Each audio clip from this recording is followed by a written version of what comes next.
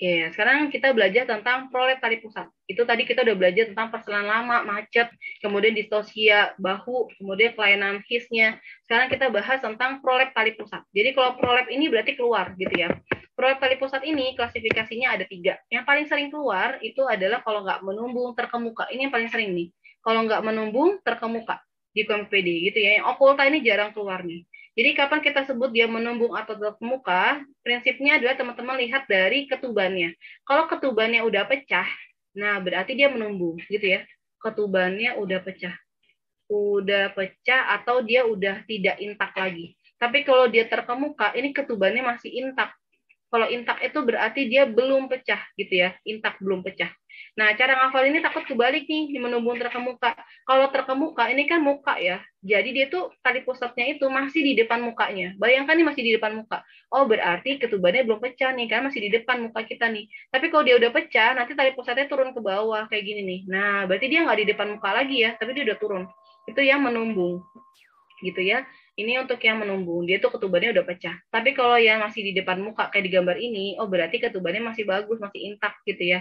Nah, ketika teman-teman VT ini bisa keraba nih tali pusernya gitu ya. Tapi kalau misalkan untuk yang okulta, dia tuh ketubannya bisa pecah, bisa enggak gitu ya. Untuk ngebedainnya, okulta ini dia tuh tali pusatnya itu adanya di samping janin ya, di samping. Normalnya itu tali pusat itu harusnya ada di ekstremitas, di tengah-tengah ekstremitas. Jadi kalau dia udah di samping janin kayak gini, nah ini prolap tali pusat yang okulta gitu ya. Jadi karena dia di samping janin, kalau kita VT ini kan agak jauh ya. Dia tuh beda dengan yang si terkemuka nih. Ke terkemuka benar-benar dia deket dengan si bagian pintu dari cervicalisnya. Tapi kalau yang si okulta ini agak lebih tinggi. Jadi dia tuh sulit untuk kita raba gitu ya. Kalau kamu PPD yang paling sering dia menumbung atau terkemuka. Kalau menumbung berarti dia udah pecah tali uh, ketubannya. Jadi tali pusatnya itu udah lolos gitu ya, udah keluar gitu. Kemudian kalau misalkan yang si uh, terkemuka masih di depan muka.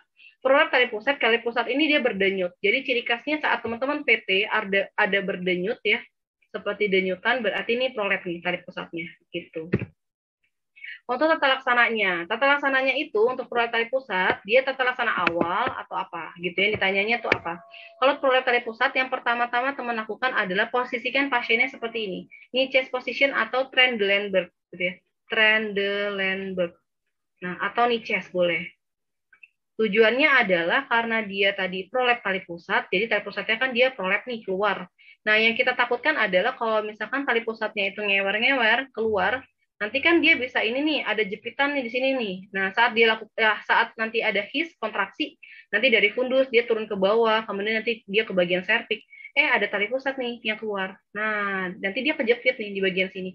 Kalau dia kejepit tali pusatnya yang ada nanti aliran uteroplasenta terganggu. Jadi nanti dia untuk si janinnya itu nanti nggak dapat lagi oksigen dan sebagainya. Nanti jadi distress si janinnya gitu ya. Jadi harus hati-hati nih. Nah, karena dia takut uh, kejepit kayak gini, maka diposisikan dia seperti ini, nungging. Kalau dia nungging, gravitasi, nanti tali pusatnya itu dia masuk lagi gitu ya. Karena gravitasi ya. Nanti dia masuk ke dalam si rahimnya gitu ya. Maka diposisikan seperti ini, nungging. Kemudian yang kedua, kalau pasien-pasien prolet tali pusat, oksigen ya jangan lupa. Pasiennya itu ibunya dikasih oksigen asal kano 4 sampai 6 liter per menit gitu ya. Jadi kasih aja nih uh, si ibunya nih oksigen asal kano 4 sampai 6. Kemudian teman-teman kasih obat-obatan tokolitik ya. Nah, karena yang kita takutkan tadi karena kontraksi jadi kejepit tali pusatnya. Berarti kita harus uh, membuat si uterusnya ini kontraksi ototnya itu jangan terlalu sering. Jadi kita kasihlah tokolitik gitu ya. Boleh teman-teman kasih MGSO4, terbutalin, salbutamol, nifeditin itu boleh. Itu obat-obatan tokolitik. Nah, selanjutnya apa? Kalau misalnya udah kita lakukan posisi trend Trendelenburg, kita kasih oksigen, kita kasih obat-obat tokolitik, nah yaudah langsung rujuk aja. Nah, lakukanlah seksio. Gitu ya. Ini untuk yang prolep tali pusat. Dan yang paling penting adalah jangan pindahkan tali pusat secara manual. Kita sering banget nih, oh ada prolep nih tali pusat uh, berdenyut nih saat kita VT kan. Ada nih tali pusat. Ya, kita masukin lagi deh karena kan tadi keluar ya.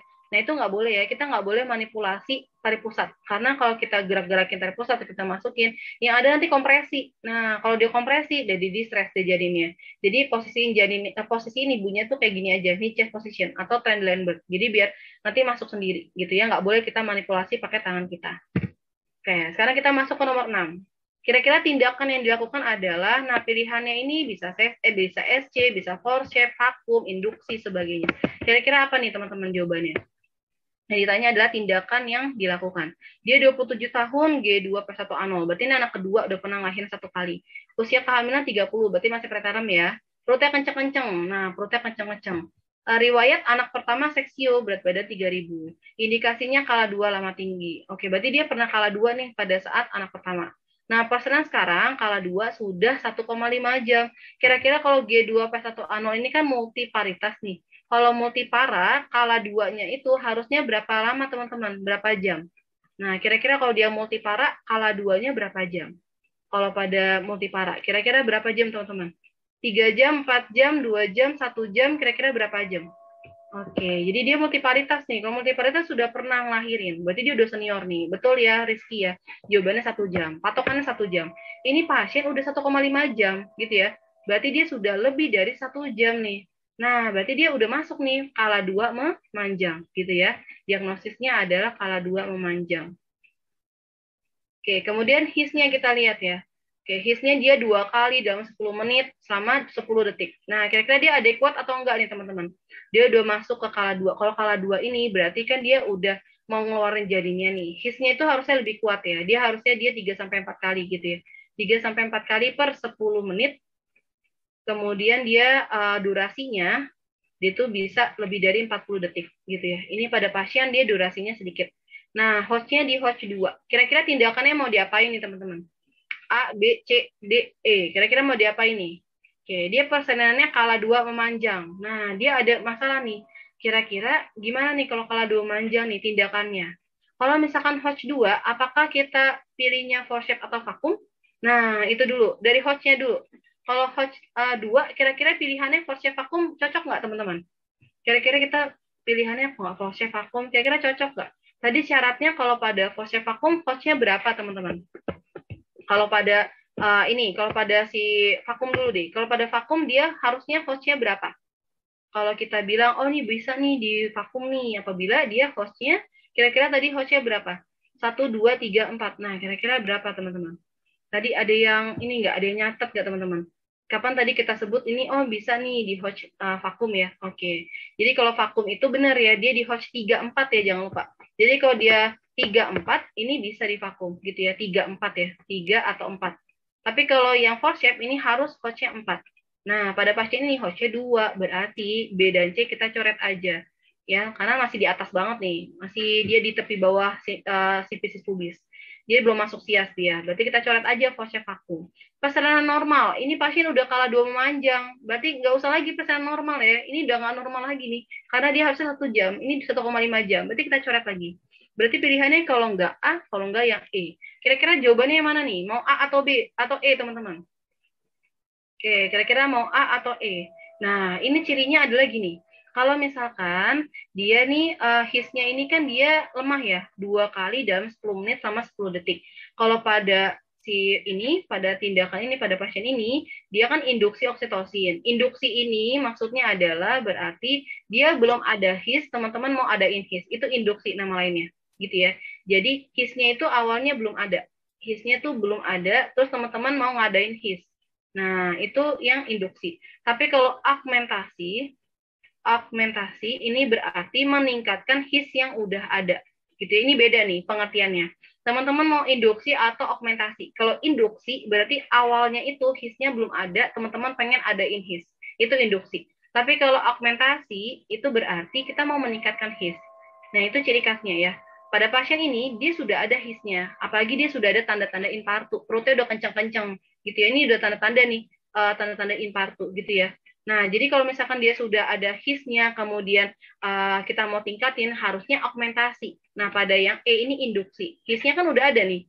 Jadi nggak perlu kita induksi, ya kita E-nya kita coret aja. Harusnya augmentasi oksitosin itu baru benar. Jadi karena dia B, C, D, E salah, berarti jawabannya yang seksio. Apalagi pasien ini dia udah pernah riwayat seksio sebelumnya dengan kala dua lama letak tinggi. Jadi udah langsung seksio aja gitu ya. Selain tadi kita udah eliminasi nih. Ini host 2, kemudian dia harusnya augmentasi oksitosin gitu ya. Oke, sekarang nomor 7. Kira-kira penanganan yang tepat nih. Nah, di sini ada clue-nya nih. Ibunya lelah. Nah, udah nih kalau ibunya lelah, teman-teman mau ke mana nih? Ibunya lelah. Nah, kira-kira kalau ibunya lelah, mau diapain tadi? Nah, kalau udah lelah, udah capek, nggak bisa ngeden. Nah, betul ya, Adisti ya. Jawabannya forceps gitu ya. Jadi enak nih ada clue-nya. Ibunya udah capek. Udah capek ya udah forceps. Forceps tadi syaratnya apa? Syaratnya tadi harus dia hostnya itu host yang ke berapa tadi? Dia harus 34 ya pokoknya ya yang vakum atau forceps tuh bisa. Ini dia 2 per 5 station 3 berarti udah di sias nih. Berarti kalau udah di sias yang apa-apa bisa di forceps gitu ya. Apalagi tanda vitalnya masih bagus, sisnya masih adekuat gitu ya. Berarti kalau tanda vital masih bagus, jangan pilih seksio. Karena seksio tadi apabila ibu dan janinnya tuh jelek. Dilihatnya dari TTV-nya. Ibunya masih bagus TTV-nya. Oh, berarti nggak usah seksio gitu ya.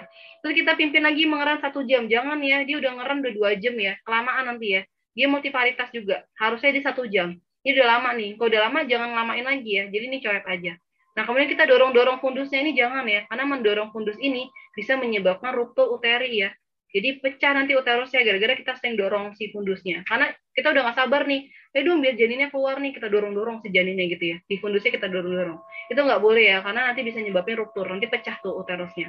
Oke, jadi di, kita salahin kemudian vakum. Nah kalau vakum tadi syaratnya dia itu uh, apabila ini ya kalau memang si ibunya ini dia masih bisa ngeden. Ini pasiennya udah lelah udah capek. Boro-boro mau ngeden ya. Jadi eh kita coret aja. Jadi jawabannya yang C gitu ya. Sekarang nomor 8 nih. Kira-kira penyulit persalinannya apa kira-kira kalau pada pasien ini kira-kira penyulitnya apa nih nah ini banyak ya ada retensio ada distosia ada atonia nah kira-kira apa nih teman-teman penyulitnya yang ditanya. Nah, pada pasien ini dia 35 tahun, G1 penol A0, jadi ini anak pertama. Anak pertama usianya udah 40 minggu, udah aterem ya. Datang, dia bilang ketubannya pecah. Kemudian disertai dengan nyeri perut. Jadi ketubannya pecah, dia ada nyeri perut yang semakin sering.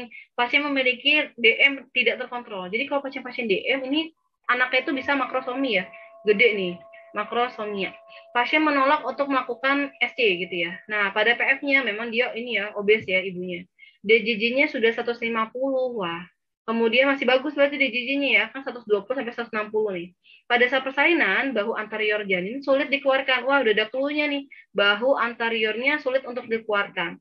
Kemudian dokternya ngelakuin episiotomi. Nah, kira-kira diapain nih teman-teman? Penyulitnya apa nih? Jadi si dokternya ini melakukan episiotomi. Oke, sip, betul ya Adisti ya jawabannya yang distosia bahu.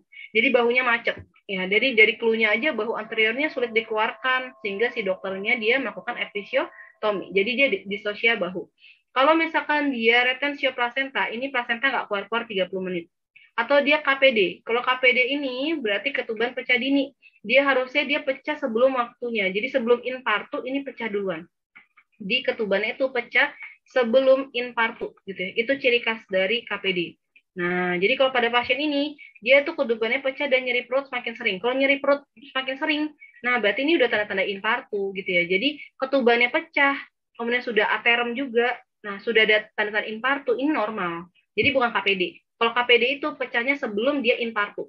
Jadi sebelum dia mules-mules gitu ya, sebelum dia uh, kayak pengen BAB, kemudian perineum, kemudian si uh, bagian dari apa vulvanya belum ini belum apa namanya menonjol berarti ini belum infarto nih. Kalau belum infarto tiba-tiba bocor tiba-tiba pecah itu kita sebut KPD tapi kalau emang udah ada tanda-tanda infarto sudah aterem sudah apa sudah cukup kehamilannya cukup bulan berarti dia pecah ketuban ya saat infarto apabila dia udah seperti itu ya berarti eh, ketubannya pecah normal gitu ya kalau atonioteri A-nya ini tidak ada berarti nggak ada tonus nih uterusnya ciri khasnya adalah lembek jadi kalau dapat soal nanti dia uh, fundus uterusnya lembek. Ah, berarti dia atonia gitu ya. Nanti kita bakal pelajarin di kelas selanjutnya tentang perdarahan postpartum. Jadi abis dia ngelahirin tiba-tiba dia perdarahan terus. Nanti kita nilai dulu tonusnya gimana, bagus atau enggak gitu ya. Ini jawabannya yang distosia bahu. Kalau distosia bahu tadi ciri khasnya saat di uh, PF ternyata ditemukan apa teman-teman yang sign tadi kalau pada distosia bahu. Nah, kita sebut oh ini distosia bahu nih. Apabila teman-teman ngelihat apa tuh tadi? titik-titik uh, sign. Nah, kira-kira tadi apa tuh? Untuk distosia bahu. Nah, ciri khasnya.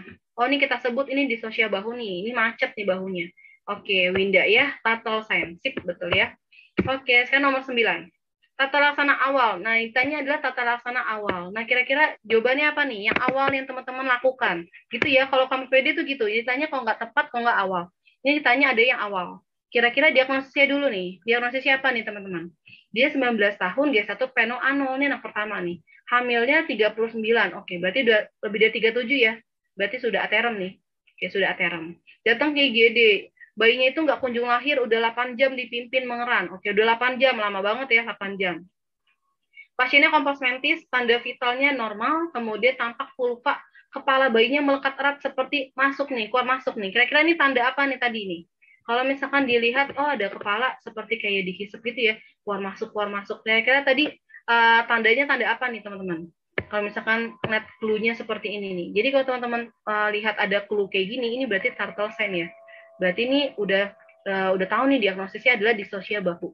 Gitu ya. Memang ciri khas banget ya. Nah, jadi tata laksana awalnya adalah alarm. Nah, kira-kira kalau alarm ini yang pertama kan astral help nih. Ada nggak jawabannya astral help? Nggak ada ya. Nggak minta tolong nggak ada. Berarti langsung ke lift.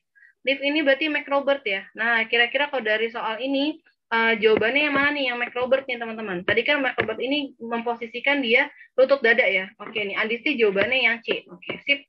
Betul ya, jawabannya memfraksikan lutut sehingga dapat menyentuh dengan dada. Jadi lutut dada itu ciri tuh Robert. Jadi dia uh, merupakan manuver lutut dada. Jadi itu jawabannya yang C, betul ya. Jadi microbird. Ditambah episiotomi gitu ya dikombinasi. Episiotomi. Kemudian kalau yang A, kalau yang A ini kan anterior disinfection ya. Jadi kita mau ngeluarin bahu anterior duluan. Boleh teman-teman pakai yang Masanti atau pakai Rubin ya. Nah, kira-kira kalau misalkan Masanti, yang option mana nih teman-teman? yang dia mendefinisikan oh ini pakai manuver Mas Santi nih. Kira-kira yang mana nih? A, B, D, E. Kira-kira yang mana nih? Episiotomi nggak mungkin ya. Oke, mendorong masuk kepala atau dia memasukkan jari memutar si bahu atau memberikan tekanan suprapubik. Kira-kira yang Mas Santi yang mana nih teman-teman? Nah, kira-kira dari optionnya yang kita sebut, oh ini manuver Mas Santi nih. Jadi kan kalau kita udah lakukan microbot episiotomi nggak berhasil kan boleh nih pakai Mas Santi. Nah, Mas Santi itu yang D ya. Nah, jadi dia kita tekan aja suprapubiknya. Ini Mas Santi. Oke, kalau misalnya Rubin, berarti kalau Rubin ini kita bakal membuat nanti posisi bahu itu oblik ya. Tapi kalau misalkan yang rotasi, ini wood ya. Jadi kalau memutar si bahu posterior menjadi anterior, ini berarti wood manuver. Sedangkan kalau kita ngedorong masuk kepala bayi ini nggak boleh ya. Nah, nggak boleh didorong-dorong nih kepala bayinya. Yang boleh kita ubah adalah posisi bahu, bukan kepala atau leher. Jadi kepala leher bayi itu pada saat distosia bahu tuh nggak boleh kita apa-apain. Yang kita boleh lakukan manuver itu adalah bahunya, gitu ya. Untuk bahu anterior kan sulit untuk kita jangkau. Jadi yang paling sering itu bahu posterior yang kita jangkau, gitu ya. Itu untuk yang nomor 9. Jadi jawabannya yang macrobot, berarti yang C, gitu ya. Lutut dada. Karena nomor 10 nih, kira-kira penyebab kegawatan janin ini apa nih teman-teman? Oke, kira-kira penyebabnya apa nih? Nah, sekarang kita baca dulu deh soalnya ya. Jadi dia ada wanita usia 29 tahun, ini anak kedua, dia pernah lahir sekali. Dia sudah 40 minggu, sudah terem. Datang nih, nyari perut yang semakin memberat. Udah ada tanda-tanda infartu. Keluarlah cairan deras. Oke, ada cairan deras. Berarti ketuban ya. Disertai dengan darah dari kemaluan sekitar 45 menit yang lalu. Pemeriksaan fisiknya hisnya empat kali, normal ya. Jadi kalau udah mulai infartu, udah mulai fase aktif, dia 3 sampai empat kali nih normalnya. Durasi bisa ya lebih dari 40 detik. Kemudian dari JJ-nya, oke udah mulai distres, udah mulai takikardi nih janinnya. Nah, pada VT ditemukan bukaannya masih 2 cm, berarti masih di fase laten ya. Oke, masih 2 cm. Teraba si tali berdenyut. Nah, kira-kira kalau udah bilang berdenyut, tali berdenyut ini, berarti ini diagnosisnya apa nih teman-teman? Dia udah ada tali berdenyut. Oke, kira-kira apa nih? Terdapat mekonium juga. Penyebabnya apa nih teman-teman? Sehingga si janin ini takikardi. Jadi dia 170. Kira-kira diagnosisnya apa nih? Dia udah keluar cairan deras. Oke, sip. Nah, betul ya. Rizky ya, jawabannya yang menumbung. Jadi kalau menumbung, itu ciri khasnya adalah ketubannya udah pecah. Ketubannya pecah gitu ya. Tapi kalau yang si terkemuka masih di depan muka, berarti dia belum pecah ketubannya. Nah, itu untuk ngebedainnya. Jadi benar jawabannya yang B, karena dia ada tali pusarnya itu berdenyut. Jadi kalau udah ada tali pusar berdenyut, berarti ini prolep tali pusat gitu ya. Sehingga nanti diklasifikasiin, ini klasifikasi terkemuka atau menumbung gitu ya. Kalau misalkan fasa previa, fasa itu pembuluh darah ya. Jadi fasa previa ini dia ada dua tipe. Ada yang tipe yang satu, ada tipe yang dua. Nah, jadi kalau tipe satu itu adalah ini kan janin nih ada plasenta ya. Plasenta kan normalnya melekatnya di fundus nih. Ini ada tali pusar, nih janinnya gitu ya. Anggaplah seperti ini ya gambarnya. Nah, jadi fasa previa ini ada tipe 1, tipe 2. Tipe 1 itu berarti si tali pusernya ini ada sebagian yang tidak diselimuti oleh warton jelly. Normalnya tali puser ini dia diselimuti oleh si warton jelly. Warton jelly itu adalah suatu gel yang membuat nanti si tali pusernya itu nggak mengalami kompresi gitu ya. Jadi nggak gampang dia kompresi, nggak gampang ketekan. Jadi kalau dia ketekan malah jadi distress gitu ya. Nah, pada Vesa previa tipe 1, dia ada bagian yang tidak diselimuti warton jari. Jadi dia tuh ada uh, pembuluh darah yang dia tuh uh, melayang-melayang ya di amnion. Nah, itu ya ciri khasnya.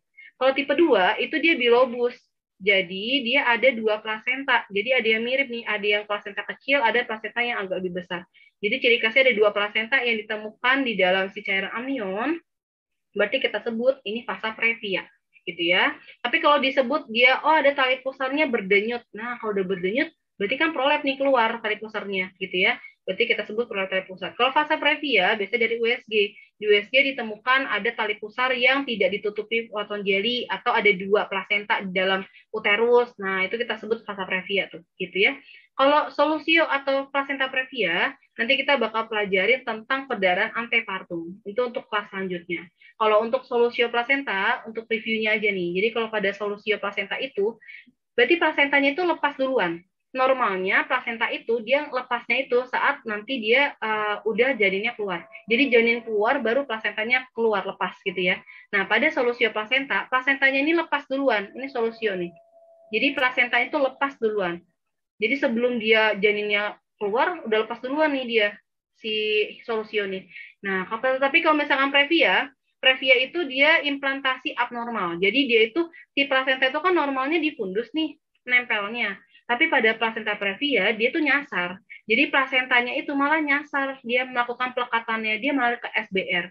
Nah, ini berarti yang previa gitu ya. Kalau pada solosio tadi lepas duluan, tapi kalau pada previa dia itu si plasentanya dia nyasar, harusnya difundus di atas, eh dia nyasar dia malah ke SBR, ke segmen bawah rahim. Dia malah ke bagian bawah sehingga dia nutupin jalan lahir gitu ya. Ini untuk yang previa. Kenapa dia bisa nyasar? Karena endometriumnya nggak cantik. Jadi endometriumnya itu ada defek gitu ya. Jadi misalkan nih pasien-pasien yang habis disesar atau dia habis di dia abortus habis itu dikuret-kuret, Nah, jadinya kan dinding endometriumnya terkikis tuh. Jadinya kan nggak cantik lagi tuh. Sehingga nanti si plasenta itu pinter. Oh, dia, dia bilang nih, ah nggak cantik lagi nih, aku mau cari yang cantik. Ah, jadi dia nanti nyasar tuh. Dia nanti malah cari yang posisi nyaman. Eh, ternyata dia nyamannya di SBR. Gitu ya, di segmen bawah rahim. Dia malah posisi di bawah. Itu untuk yang plasenta previa. Kalau solusio, dia lepas duluan. Tanda-tandanya adalah kalau solusio, dia perdarahan warna hitam. Tapi kalau previa, perdarahan warna merah segar. Kemudian yang posisinya yang paling jelek kondisinya adalah solusio. Dia solusio itu kondisinya jelek banget. Dia nyeri perut hebat, perutnya tegang, terus kemudian darahnya hitam. Kemudian datang-datang biasanya pasiennya tuh shock, ibunya shock, janinnya udah mulai ini ya, udah mulai nggak ada lagi, udah mulai meninggal, itu berarti solusio.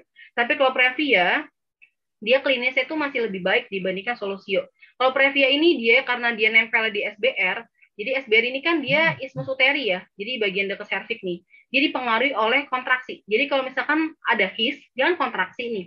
Nanti kontraksi lah di bagian ismus uterinya sehingga nanti ada bagian yang lepas. Jadinya dia perdarahan nyeri. Jadi nyeri perutnya itu perdarahan itu dipicu oleh hisnya, kontraksi. Nanti kalau lagi nggak kontraksi, nanti dia tenang lagi tuh. Dia nggak akan ngeluh-ngeluh apa-apa. Dia nggak akan sakit perut ya gitu ya. Itu pada previa. Jadi dia hilang timbul nyeri perutnya. Kemudian dia posisi perutnya itu nggak tegang banget dibandingkan solusio dan dia warna merah segar. Itu pada previa gitu ya.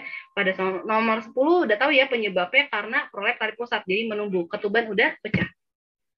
Oke, sekarang nomor 11 nih. Kira-kira diagnosisnya apa nih, teman-teman? Ini macet atau ini lama nih? Nah, kira-kira gimana, teman-teman? Ada yang tahu nggak jawabannya nih, teman-teman? Diagnosisnya apa? Oke, dia wanita 28 tahun, dia satu penoanol, dia anak pertama. Usia kehamilan sudah terem ya, sudah 37. Dia bilang, dok saya nyeri perut hebat nih. Oke, kemudian disertai keluar darah bercampur lemdir. Nah, berarti udah tanda-tanda infartu ya. Pemeriksaan fisiknya normal. Kemudian DJJ-nya normal juga. Hisnya juga masih bagus. Kemudian pembukaannya dia 2 cm, kemudian pendataran 25, presentasi kepala UK anterior, oke, preskep ya. Setelah tiga kali evaluasi selama 24 jam, tidak ada kemajuan persalinan. Jadi masih aja tuh 2 cm terus. Kira-kira diagnosisnya apa nih teman-teman? dia masih aja 2 cm terus. Nah, kira-kira gimana? Ini uh, masuknya ke mana nih, teman-teman? Pada pasien ini. Nah, sip. Kalau misalkan pada pasien ini dia pembukaannya masih 2 cm. Nah, kemudian dia 2 cm terus gitu ya, nggak maju-maju dia. Oke, betul ya Intan, Rizky, Aulia ya. Betul, jawabannya yang macet. Jadi kalau misalnya dapat pasiennya kayak gini, dia macet-macet kayak gini nih, nggak maju-maju terus ya. Padahal dia udah ada tanda-tanda infartu, ya udah ini berarti ini saya macet. Kalau lama dia masih progresif, dia masih ngebuka tapi lama gitu ya. Tapi kalau dia yang si macet dia nggak buka-buka. Dan itu prinsipnya gitu. Kalau macet ini nggak buka-buka, dia nggak buka-buka. Jadi segitu aja terus dia 2 cm, dia 2 cm lagi, 2 cm lagi gitu ya. Ini ciri khas untuk partus yang macet. Nah, sekarang kita masuk ke distensi uterus. Kalau distensi uterus ini berarti dia rahimnya itu gede, ya, dia distensi. Nah, kira-kira yang membuat uterus itu menjadi besar, berarti yang pertama, bisa karena janinnya. Janinnya gede, makrosomi. Jadi karena dia lebih dari 4 kilo, gede lah uterusnya gitu ya.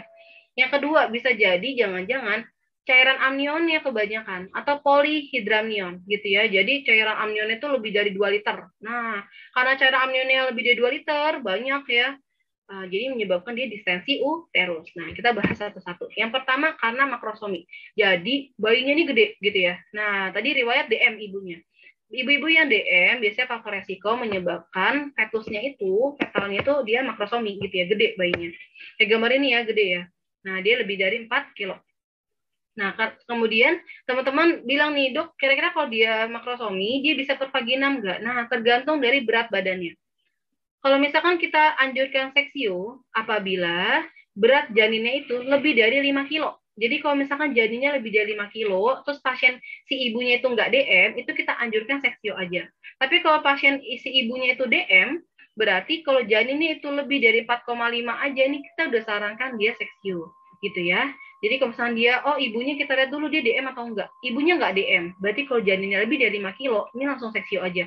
Kalau dia kurang dari 5 kilo, ibunya enggak DM, boleh pervaginam gitu ya. Tapi kalau ternyata ibunya ada DM nih, oh janinnya lebih dari 4 kilo ya, 4,5 aja kita uh, udah langsung kita seksio gitu ya. Nah itu untuk yang ibunya DM. Ada lagi syarat yang terakhir.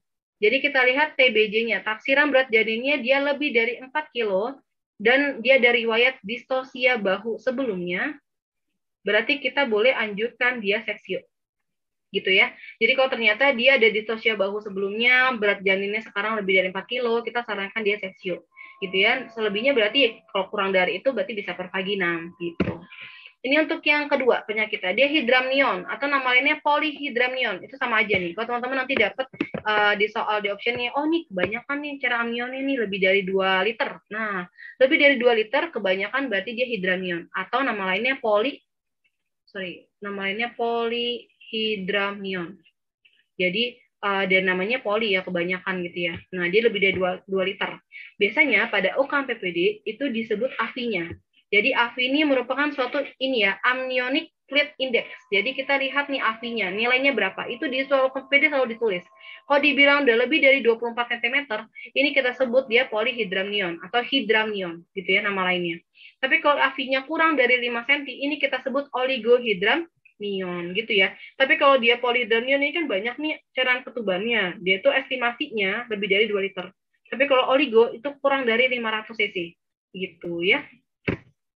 Ini untuk malformasi kongenital. Jadi dibilang nih, oh ternyata nih penyebabnya nih, kenapa bisa polydramnion atau ini penyebabnya nih kenapa oligo. Jadi cairan ketuban itu dia itu kan dihasilkan oleh sapu ketuban. Tapi setelah dia meranjak trimester 2 3 itu biasanya nanti cairan ketuban itu dihasilkan oleh produksi dari ekskresi urin dari si janinnya gitu ya. Jadi kalau misalkan nih ternyata si janinnya ini dia ada atresia esofagus. Jadi buntu nih esofagusnya, ya buntu, nggak ada saluran. Jadi si bayinya ini kan nggak bisa nelen si ketubannya ya. Kalau dia nggak bisa nelen nanti kan nggak bisa diekspresiin. Sehingga nanti di bagian luar itu banyak. Jadinya dia bisa nyebabin polihidramnion apabila dia malformasi kongenitalnya atresia esofagus. Tapi kalau ternyata dia oligo. Nah, penyebab yang menyebabkan oligohidramnion karena si janin si bayinya ini dia agenesis. Jadi uh, dia agenesis bilateral. Jadi nggak kebentuk nih si uh, si renalnya nih si ginjalnya. Nanti menyebabkan penurunan dari ekspresi urinnya. Karena dia turun ekspresi urinnya, jadi cara ketubannya juga akan sedikit yang dihasilkan, menyebabkan nanti dia fetusnya ini mengalami kompresi gitu ya, karena kan cara ketubannya sedikit nih. Jadi bayangkan aja ada ruangan tapi sedikit cairannya. Ketubannya uh, si janinnya normal gitu ya. Karena sedikit cairannya nggak ada bantalan nih gitu ya. Jadinya bisa ngalamin kompresi-kompresi. Itu untuk yang oligohidramnion. Sekarang dia ternyata distensi uterus. Selain tadi makrosomi, kemudian dia polidramnion, ternyata ada lagi nih dia gemeli. Jadi dia tuh kembar gitu ya. Di dalam uterus itu dia ada dua janin atau lebih. Jadi bisa dia itu uh, apa namanya quadriplet, triplet gitu ya. Quadriplet berarti ada tiga janin, quadriplet berarti ada empat janin. Jadi